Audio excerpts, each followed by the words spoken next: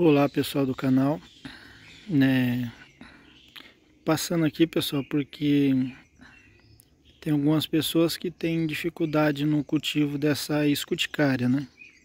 Eu também no início tinha dificuldade pessoal, então mostrar para vocês, eu estou cultivando ela aqui nesse lequinho em forma de cone, lequinho não né, cachepô em forma de cone mas pode cultivar também em cachepô comum. Ela está sendo cultivada com esfagno e casca de arroz carborizada, ou enraizamento, né? Tá aqui, ali já vem o botão. Essa daqui é a escuticária irviniana. Então, já está vindo um botão para vocês. Só vou mostrar para vocês aqui, ó. Ela fica aqui nesse local, perto do meu telado de sombrite, né? Fica aqui, ó, bem aqui. Então, para vocês verem, enraizamento na frente. Agora, olha na parte da, tar, da de trás, como tá o enraizamento, que fica próximo à parede aqui, né? Então, olha aí. Então, como fica próximo à parede, vou colocar aqui para mim mostrar para vocês. Fica próximo à parede, ó. Tem um telado onde eu penduro minhas plantas, né? Aqui, ó, vai até lá embaixo. São 32 metros de telado, né? Então deixa ela aqui. E no, na parede, quando eu fiz, eu fiz aqui, ó. Encostei o telado lá na parede. Depois de um tempo, eu puxei o telado, né? Deixa eu ver aqui, não tem nenhum a basinha que eu fiz. Ah, tem aqui, ó, uma madeirinha de 10 centímetros. Então, tem um espaço de 10 centímetros do muro, né? Porque o muro fica com umidade e a raiz vai sentir do muro para estar tá pegando umidade, né? Então eu já faço isso propor, proposital, né? Então que nem vamos mostrar aqui aquela Rodrigues Décora. Ela já foi buscar a umidade do muro, né? Então se você pegar aqui olhar meio de esgueio aqui, que não dá para mim colocar o celular aqui, mas se você de olhar meio invertido por trás da tela, você vai ver aquele monte de raiz indo em direção ao muro para estar tá buscando umidade. Então muito bonito, né? Olha uma aqui também a Paraphalaenopsis lamburguensis, né? A planta importada. Olha como tá o desenvolvimento aqui no meu orquidário, né? Neofinetia falcata também, enraizamento, né?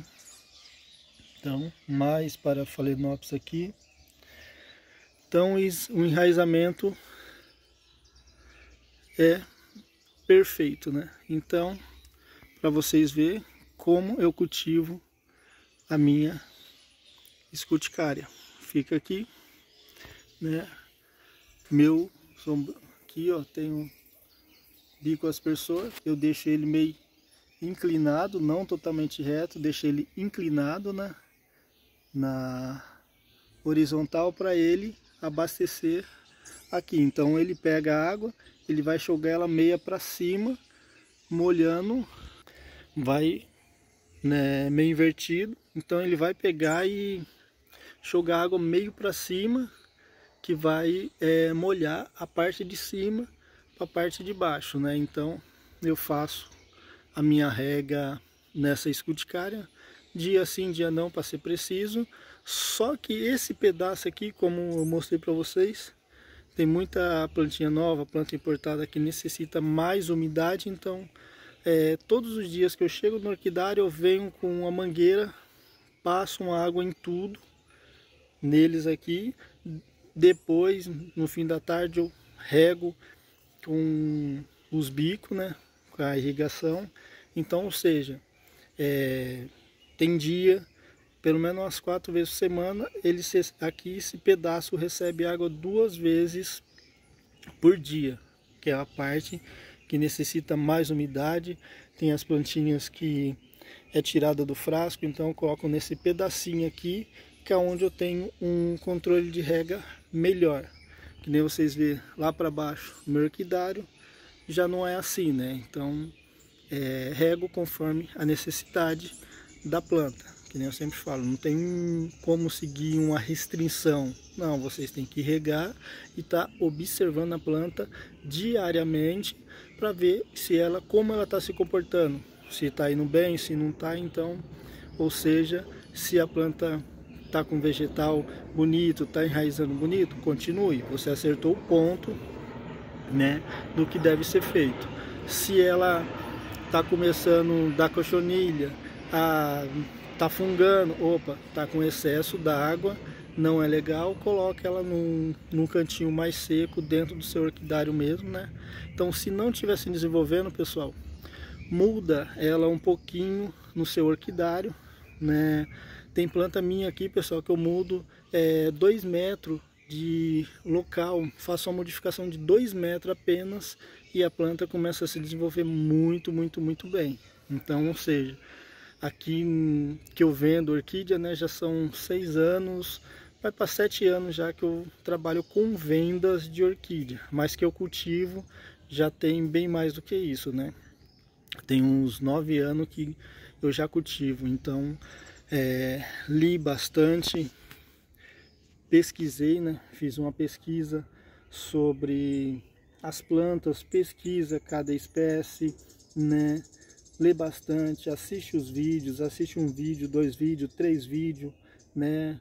Então, ou seja, um exemplo meu, assistia vários vídeos, então eu pegava um pouquinho de um vídeo que eu achava que era certo, que os padrão mais exato, pegava outro de um vídeo, de um, outro pedacinho de, outro vídeo, que ah, essa daqui é legal. Então fiz uma mistura de tudo que eu li, de tudo, todos os vídeos que eu assisti e coloquei na prática. E vocês vê o desenvolvimento na prática, como está ocorrendo. Então, ah, chegou espécie nova para mim, adquiri espécie nova.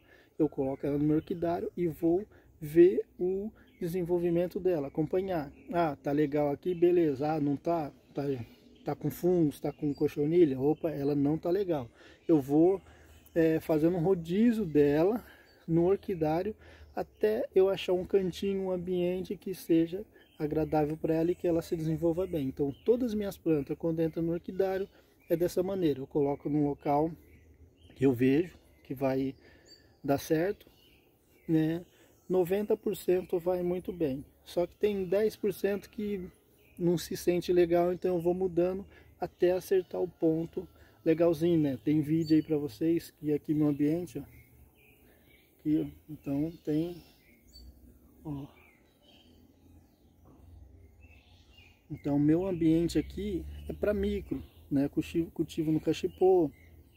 E aí vocês veem ciclo ali, tem uma encicla aqui, argentinense florida, aqui ó, nesse cantinho, cultivas encicla argentinense. Então, como eu já mostrei vários vídeos, tem cataceto, fiz um puxadinho de plástico dentro do orquidário, né? Na parte de baixo lá, que já mostrei para vocês, tem vídeo no canal, porque cataceto tem um problema com rega, porque eu faço rega é, periodicamente, né, aqui. Então, como eu falei, às vezes eu faço rega dois dias, então os catacetos não gostam. Então é isso, pessoal.